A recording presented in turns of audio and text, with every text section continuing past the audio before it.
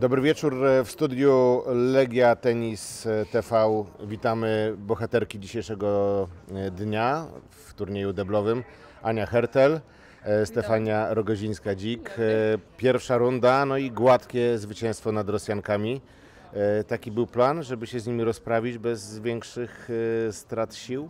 Plan był taki, żeby jak najszybciej właśnie nie tracić siły na, na deblu, żeby być świeżym na jutrzejszego singla. No i żeby właśnie szy, e, była szybka wygrana. Dobrze się dogadałyśmy, dawno sobie nie grałyśmy, a oczywiście przyjaciółki także na korcie, więc dobrze się rozumiałyśmy.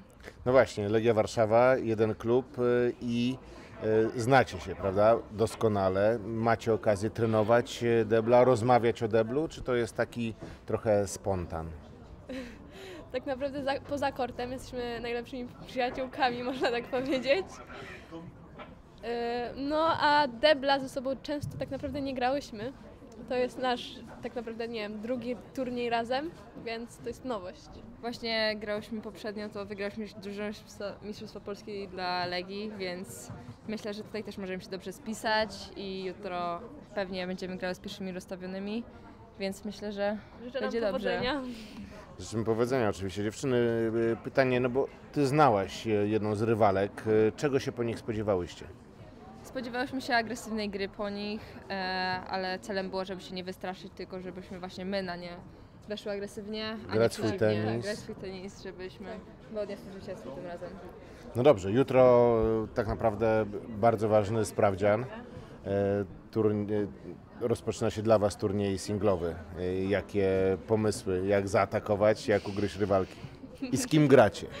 Myślę, że przede wszystkim grać swoje, wyjść na luzie, co będzie to będzie, dać z siebie wszystko po prostu na korcie. Prawda? Tak, ja gram z Polką, 7 lat starszą, więc ciekawe doświadczenie.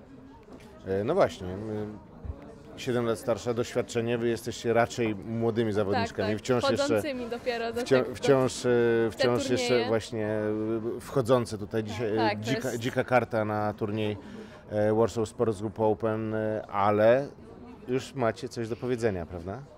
Dokładnie, no tak jak Pan powiedział, dopiero zaczynamy WTA turnieje, to jest dla nas nowe przeżycie, ale myślę, że dobrze się w tym sprawdzimy, tak, jak na ITF-ach. Nie można się wystraszyć, tylko grać swoje. Bez skrupułów, bez kompleksów. Jak najbardziej. Tego się trzymajmy, mocno Legia. Mocno legia. CWKS. Dziękuję bardzo. Za chwileczkę rozmowa z Mają Chwalińską i e, z Lechem Sidorem komentarz wydarzeń dzisiejszego dnia i prognozy na jutro.